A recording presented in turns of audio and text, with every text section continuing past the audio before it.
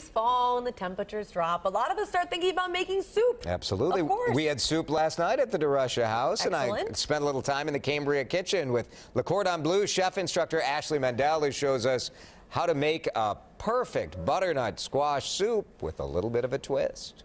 It's the fall, and Chef Ashley from Le Cordon Bleu, you got to do soups, right? Yep. So this one's like a vegetable um, kale.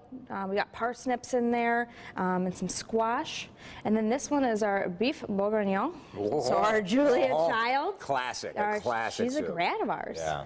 And then we have our butternut squash soup, and we just have um, we just took some prosciutto and uh, we just caramelized it up a bit. Okay, that's what we're going to do now. And Chef, you've done this exactly how I like to do soup. Have it all ready to Yep. go so you can just rock it. Yep. So we're just what we did is we chopped up celery, onions, um, threw a bunch of garlic in there. And that's first? Yep, and that's first. So we have, we already have our olive oils. You can Yeah. see our olive oil and our butter. Good. That's going.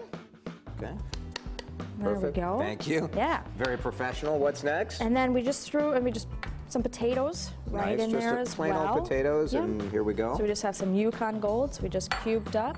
And then we have our butternut squash puree. The puree. star of the show. That's the star. So we have the chicken stock here, and then we have the heavy cream. And you don't want to use anything other than heavy cream. You don't want to use half and half. Um, it's healthier, so there's not as much flavor. Okay, so you want heavy cream. You want heavy, heavy cream. Pour in our chicken stock, and you're just gonna wanna let this cook down and let that just kind of simmer. And you can let that go for about 20 minutes. Nice whisk. Yeah. How often do you stir it while you're cooking it? Um, you can just A little bit. got- Just keep it yeah, moving. just keep it moving. That's Okay. all the soup is. It's so easy. Very, very easy.